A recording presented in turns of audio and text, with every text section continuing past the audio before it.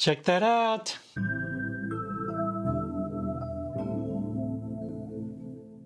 All right, I got my acrylic pieces uh, I showed you guys last video. Uh, it's time to peel them. Oh, look at that beautiful black acrylic. Just gotta be careful I don't cut myself on the edges here.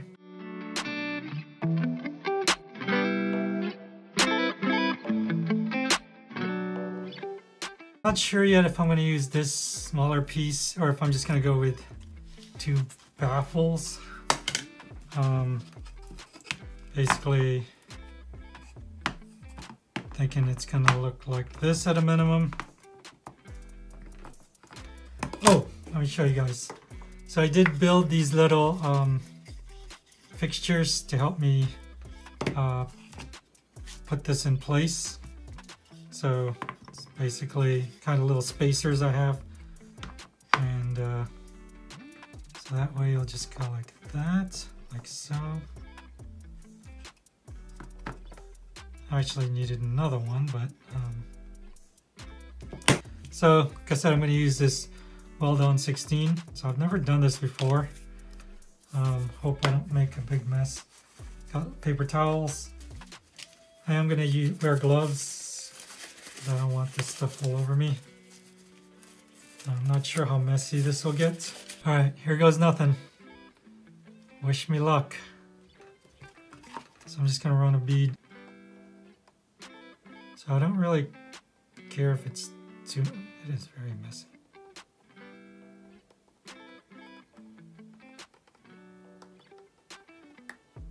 If it's super messy on here, um, because it's kind of on the back anyway, no one's to see it.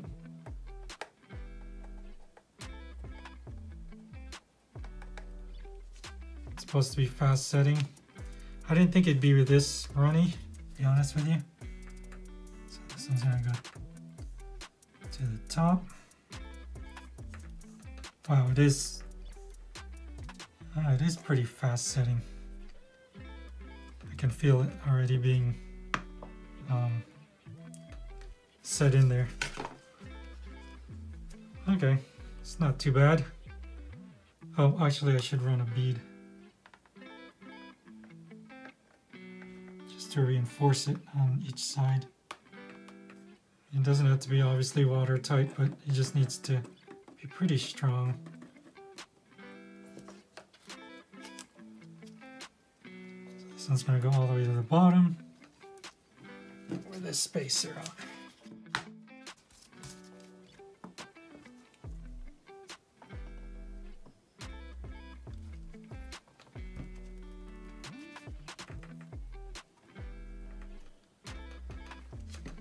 Perfect. Now I'm going to use some tape to uh, kind of secure secure them together.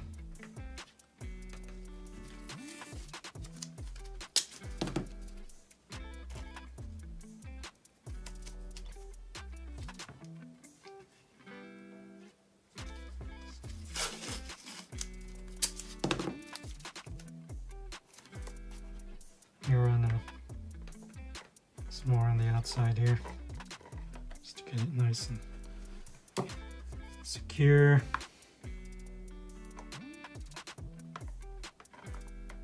This Weld-On 16 is kind of hard to come by, so I probably shouldn't be wasting it, but just want to make sure that it's uh, nice and secure. All right. Probably should have done this in a more ventilated area than my office. Um, so I probably should take this out somewhere. Uh, let it dry outside where it can air out because uh, I can smell the fumes. So if you do this at home, do this outside or in a well ventilated area. So now it's time to uh, work on the weir. So Algae Warrior, thank you for your suggestion uh, in the comments of uh, the last video um, to make the weir removable so you can clean it. And actually I think it'll make it easier to install. At least that's the, uh, the hope. What I was thinking was um, epoxying two pieces like this. I don't know, I'm hoping it'll stay. Sandwiching it uh, in between there and that way this can slide onto the uh, onto here. At least that's the idea. That should stay without having to epoxy it. So we'll see how sturdy and stable I can make this. I have no idea, um, but worth a shot, right? I'm just gonna run a bead of epoxy or weld on on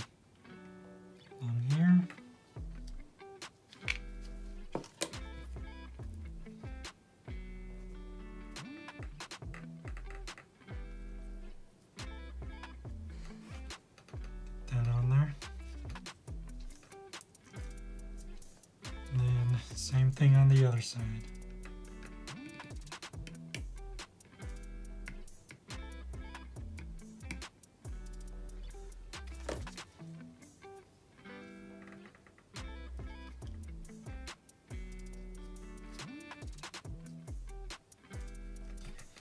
And I'll put this in between just to make sure there's enough space in there. That might work. Might be a little, um, little bit of an angle, but I think that might work. Check that out. All right, here it is. Uh, here's the build. It's not the cleanest, but it's actually not too bad. And it's pretty darn solid. Um, used plenty of uh, weld on to get that nice and secure. So really happy how it turned out, to be honest with you. I think it looks really cool. And uh, couldn't be happier with this uh, Weir installation. So let's um, let me show you guys how it looks uh, on the tank. So basically all I need to do is um, stick in here and turn it and voila, look at that. Here's what it looks like. Now it's time to uh, silicone it in place. All right, so actually I ended up having to, I forgot I need to tape all around here um, so we don't get any of the uh, silicone on the um, acrylic because it doesn't stick. So that will not be good. Course, I just need to tape this side of the tank so we don't make a mess. Neat enough. A little spacer here. I think that's good. I think once we get the silicone in there, we can probably manipulate it. All right, let's do this. You always want to wear some gloves. I don't want to get all that silicone um, all over you. Of course, little dispenser gun and then silicone. Of course, chopstick to uh, break the seal.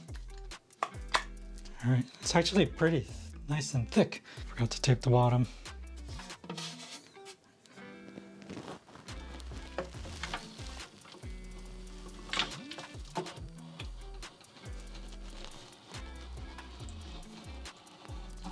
It's not bad. Oh, this stuff stinks. It is 100% silicone. Hopefully it's reef safe.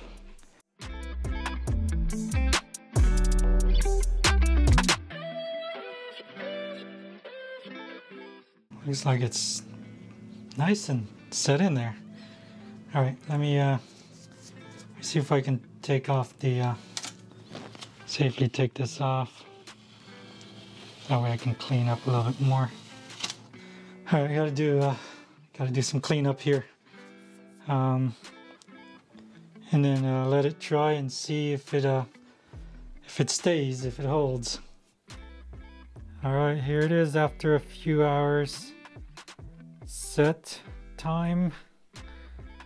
Um, all tape's gone. It's pretty in there solid. Um, really happy about how it turned out. And by the way, uh, sorry about the poor audio. uh, had a lot of audio problems doing this video.